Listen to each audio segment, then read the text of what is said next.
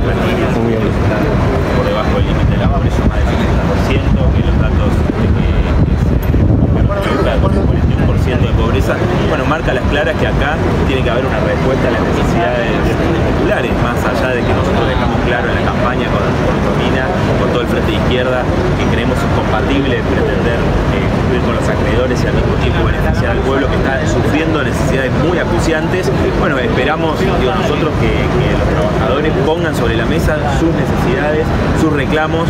Lamentablemente, bueno, este llamado acuerdo económico y social, donde estarían los grandes banqueros, los empresarios, que son los mismos que nos vienen saqueando hasta ahora, y los dirigentes sindicales que dejaron pasar todos los ataques de Macri, no va a ser el lugar donde los trabajadores conquisten eh, sus reclamos, ni los jubilados ni los jubilados. Por eso, bueno, hay mucha gente que tiene expectativa en el gobierno de Alberto Fernández.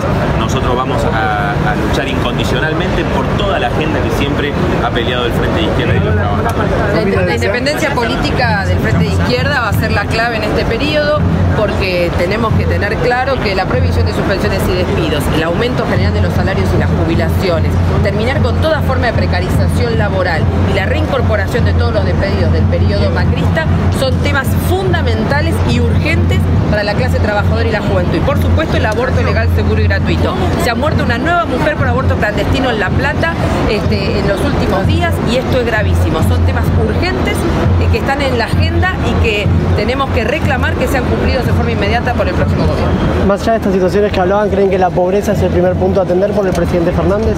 Bueno, es urgente, vos te das cuenta, él asume con un 40,8% de pobres y un 60% de los niños bajo la línea de pobreza. Es un tema este, clave, pero esto tiene que resolverse no con paliativos, sino con medidas de fondo. Trabajo genuino, prohibición de suspensiones y despidos, aumento general de salarios y jubilaciones. Es la única manera de darle una salida real y de fondo. Y por supuesto, eso solo se puede hacer si no se cumple con los banqueros, con los bonitas y con el FMI.